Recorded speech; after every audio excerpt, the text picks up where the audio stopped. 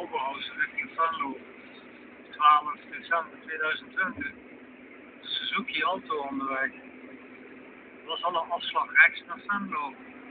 Onze navigatie 4 kilometer.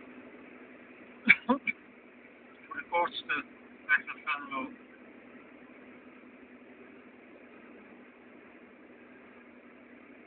Ze vullen met een Nokia met een simpele camera.